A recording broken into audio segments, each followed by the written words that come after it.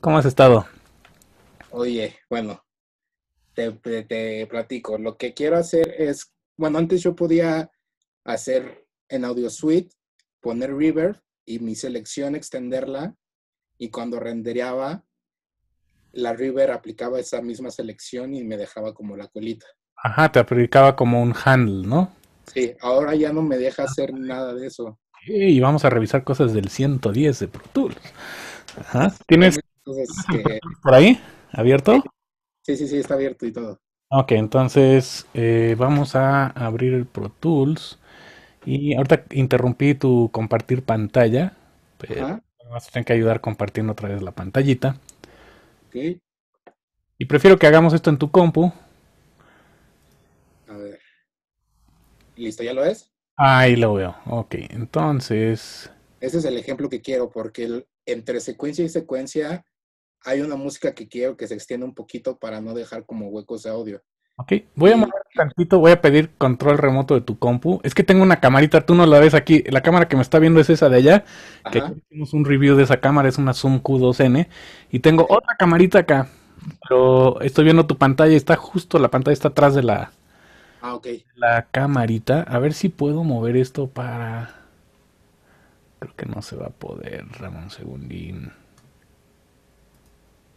A ver si puedo mover esto para acá. Ahí está mejor. Sí, ya, ya, para que no tengas que mover nada ahí. ok. Em, entonces abajo no te aparece esto de los dos segundos. No, pero creo que es, es esto. No. A ver, si va por ahí.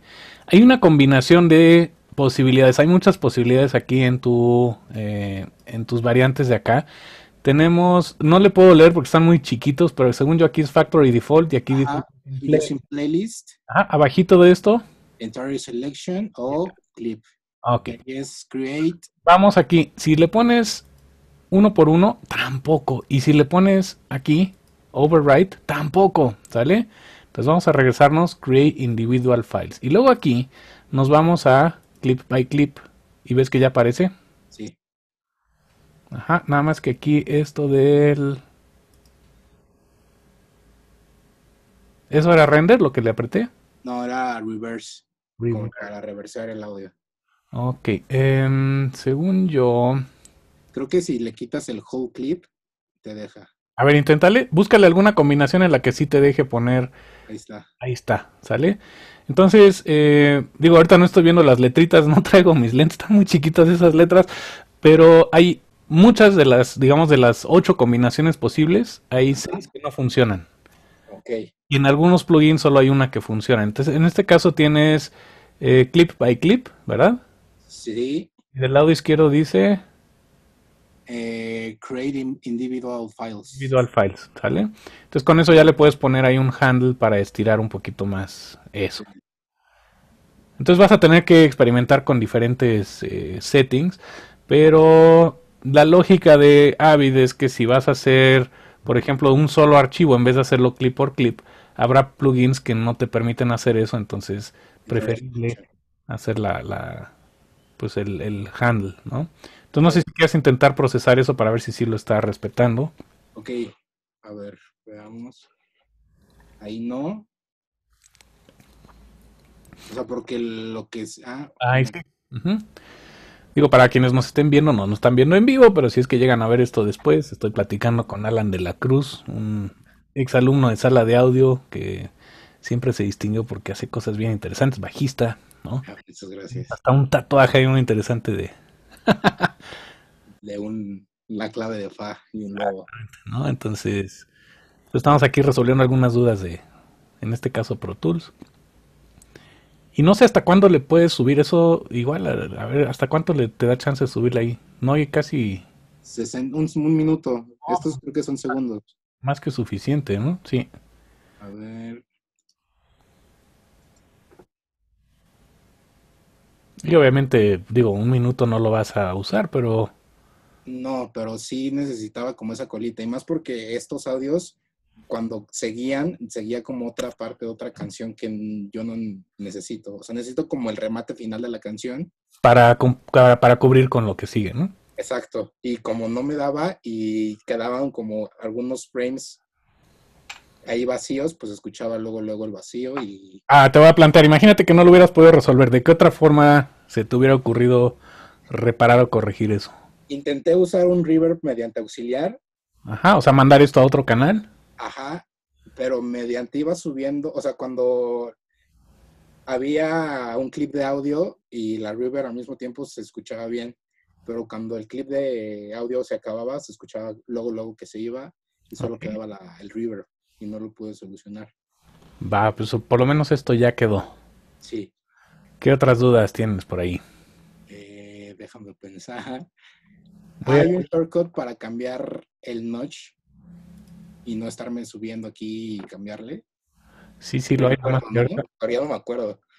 Tengo que admitir que yo tampoco me acuerdo, pero a ver, voy a dejar de compartir tu pantalla. Ok. ¿vale? Y a ver, métete a una página que se llama Pro Tools Keyboard Shortcuts.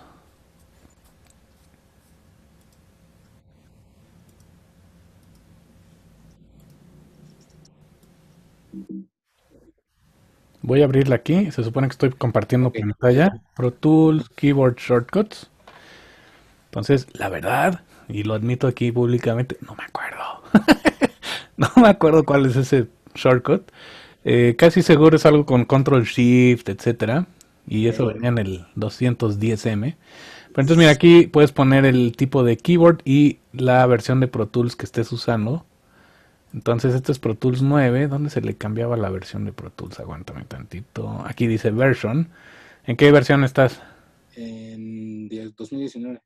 Ok, entonces metemos aquí 2019, le ponemos el teclado que estamos usando, que en este caso va a ser un extendido, ¿sale?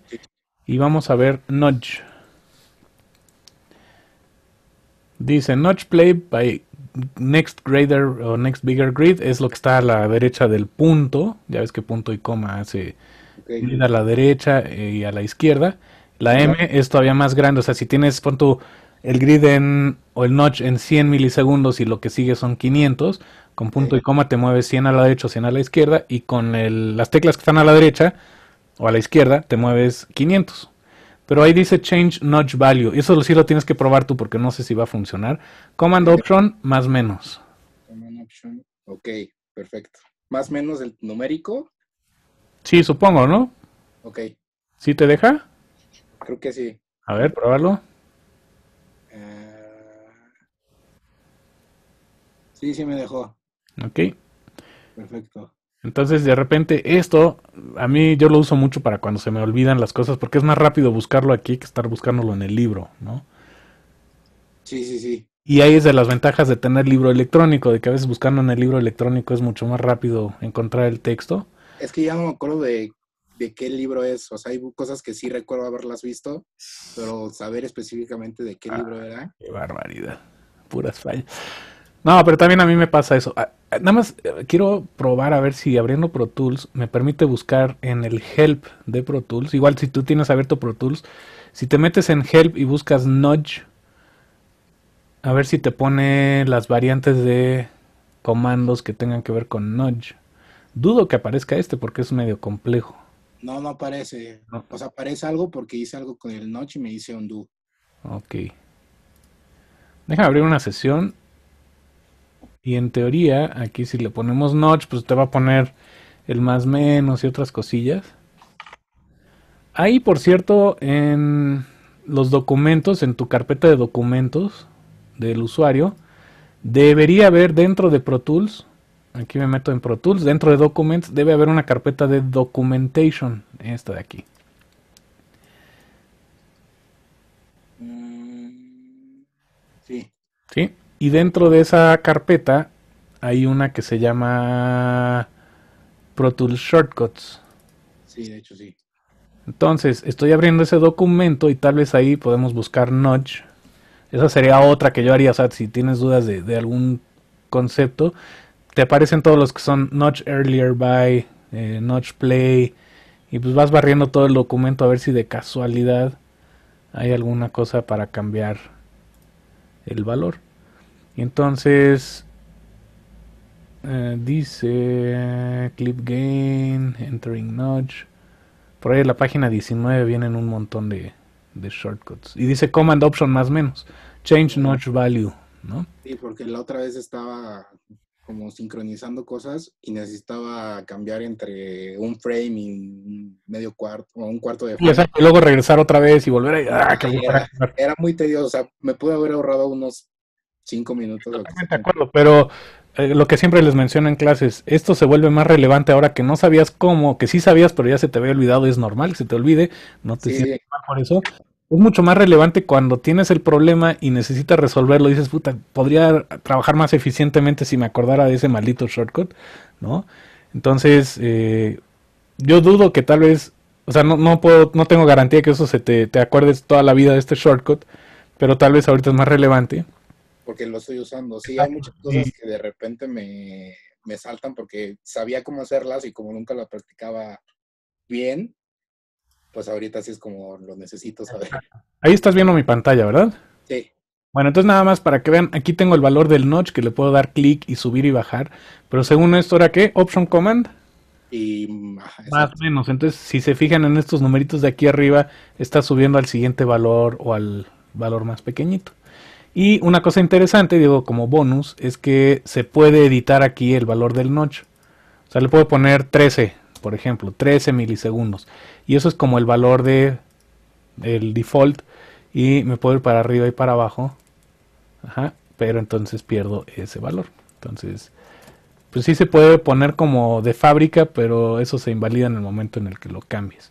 Pero sí vale la pena, ¿eh? La verdad es que ese tipo de cosas ahorran muchísimo tiempo. Sí. Y pues ya aprovechando la última que también me acuerdo, cómo, o sea, no me acuerdo cómo hacerlo. Pon ejemplo, así de que tú tienes esos dos clips de audio y quieres extenderlo, pero cuando lo extiendes que llega al tope del inicio del siguiente. Ok, que no, que no tape el otro. Ajá, exacto. ¿Cómo era? Mira, vamos a poner este para acá y este para acá. ¿Sale? Tengo entendido que este se extiende a la derecha. Entonces vamos a poner este más para acá y le vamos a cambiar de colorcito para que sea más evidente. Vamos aquí al color palette y este le vamos a poner un... ¿Qué será? Un verde medio vomitivo, ¿no es cierto? Arbolito de Navidad. Entonces, si esto lo quieres tirar, lo que tú no quieres es que esto se tape, ¿no? Tú quieres que llegue exactamente a donde está eso. Según yo, mientras aprieta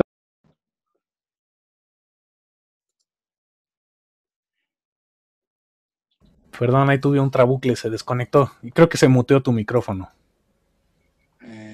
Ah, ya estás, ya te escucho. Ok.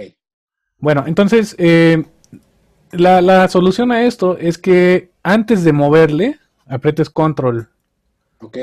Entonces ya no puedes irte más allá de donde está este audio. O bien. Si, te, le das control primero, o sea, pon que separamos esto para acá, lo echamos para aquí, y le doy primero control, cuando llegues al borde ya no puedes pasarte más para allá. Creo que sí lo intenté, pero como tengo el Smart Tool, y aprieto control, de repente se me va el... yo también tengo el Smart Tool y sí, pero tiene que ser antes de moverlo. Ok. Ahora, había otra que sería bueno también recordarlo. Hay un tandem trimming que es con control option. No, command control. No sé si te acuerdas de este.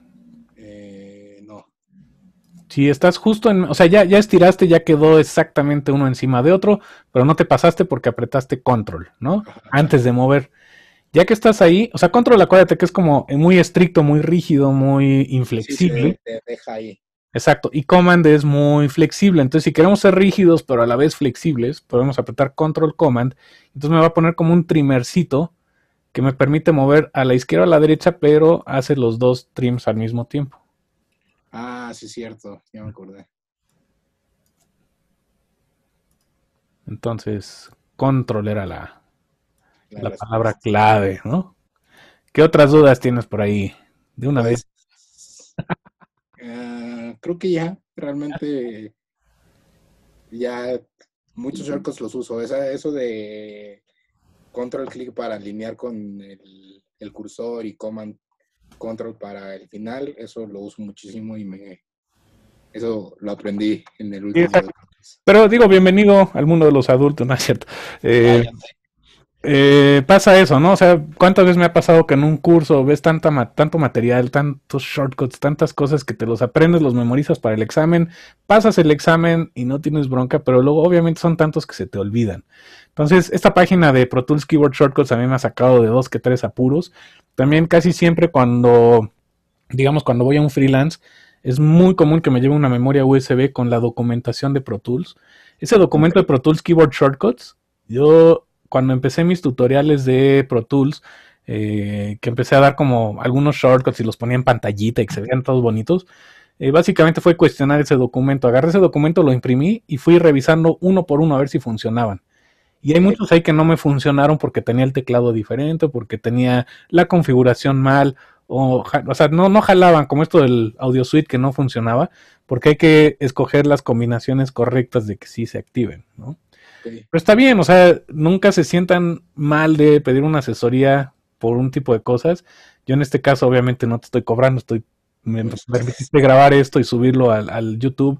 Y tal vez si alguien nos ve es, eh, a veces vale la pena, es más barato consultar a alguien para este tipo de cosas en tiempo y en dinero que esperar y buscar y revisar el libro o tal vez salir del apuro, ¿no? Entonces, siéntanse con la confianza de, igual que, que Alan, escribirme en un WhatsApp, decir, hoy tengo un par de dudas, ¿me ayudas? Sí, por supuesto que sí. A ti hoy, sorry, te dejé esperando, tuve una asesoría ahorita con René García, en la mañana tuve otra asesoría con Rubén Delgadillo, tuve eh, desde las 8 de la mañana algunas cosas y además estamos cerrando cuatro y en sala de audio, pero sin, sin ningún problema, con gusto lo hacemos, ¿no? Y... Muchísimas gracias. Y no te preocupes, yo también estaba medio apurado haciendo otras cosillas y me dio tiempo. Perfecto pues bueno, qué gusto, así tuvimos chance de platicar un ratito, ¿no? Sí, un ratito. Muchísimas gracias, Tomás. No, ¿de qué? Que tengas un buen día. Igual, cuídate mucho, bye. Nos vemos, bye.